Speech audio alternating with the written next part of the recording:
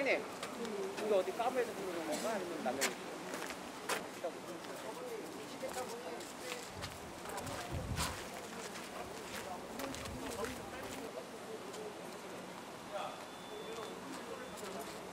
사장님, 카 잠깐만 번.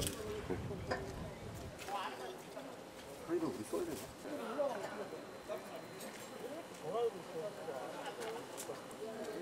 네. 아 지금 촬